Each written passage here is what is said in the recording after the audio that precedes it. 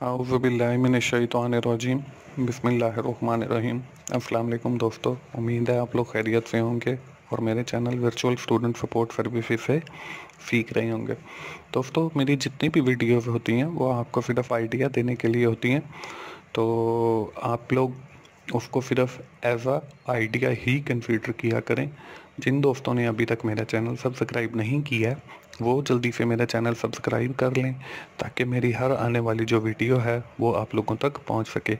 दोस्तों, आज की जो मेरी वीडियो है, वो C S one zero one introduction to computing का जो हमारा क्विज़ नंबर वन आया हुआ है, उस हवाले से तो आइए हम लोग अपना क्विज़ देखते हैं।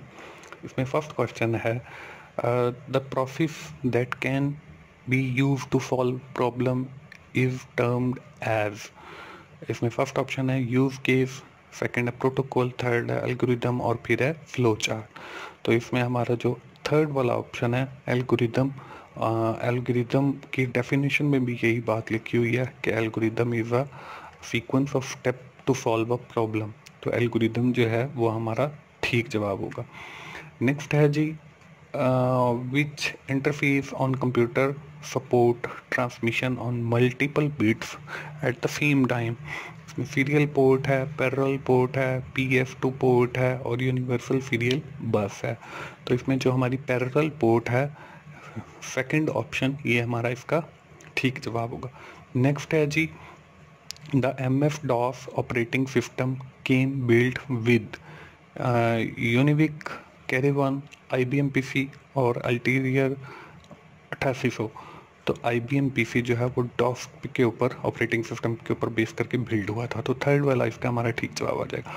नेक्स्ट है जी during one of the international cricket tournament one of the teams intentionally lost a match so that could qualify for the next round if they had won the particular match some other team would have qualified this is an example of greedy algorithm तो first वाला जो option है, ये हमारा ठीक option आ जाएगा। Next question है जी an ultra fast memory contains frequently access data and instruction called fill in the blanks memory RAM है रोम है, कैशे है एंड प्राइमरी है।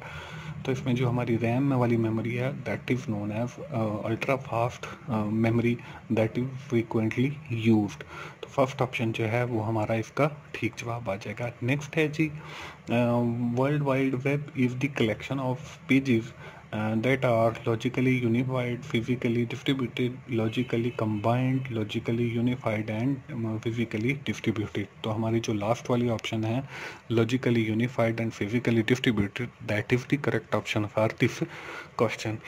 Seventh question है जी S C S I stand for small computer system interface system common small interface silicon computer system interface और none of the given option तो इसमें हमारी जो फ़र्स्ट वाली है स्मॉल कंप्यूटर सिस्टम इंटरफेस ये हमारा इसका ठीक जवाब आ जाएगा। जी नेक्स्ट क्वेश्चन है WinRAR software is an example of fill the blank system software application software utility software and engineering software तो इसमें जो हमारा थर्ड वाला आई थिंक यूटिलिटी सॉफ्टवेयर वो इसका ठीक जवाब आ जाएगा। नेक्स्ट क्वेश्चन है जी second last T C P stand for transmission control principle transmission control protocol transmission control protocol transformation control protocol और ट्रांसलेशन कंट्रोल प्रोटोकॉल तो इसमें जो हमारा सेकंड वाला है ट्रांसमिशन कंट्रोल कंट्रोल प्रोटोकॉल वो हमारा इसका ठीक जवाब आएगा टीसीपी का TCP stand for transmission control protocol next है जी लास्ट वाला which one of the following operating system has higher highest security इसमें विंडोज़ है लाइनेक्स है यूनिक्स है और मैक है। तो इसमें लाइनेक्स जो है that is very high operating system with respect to the security feature तो सेकंड वाला जो है, वो हमारा इसका ठीक जवाब आ जाएगा। दोस्तों, ये था हमारा quiz C S one zero one introduction to computing का।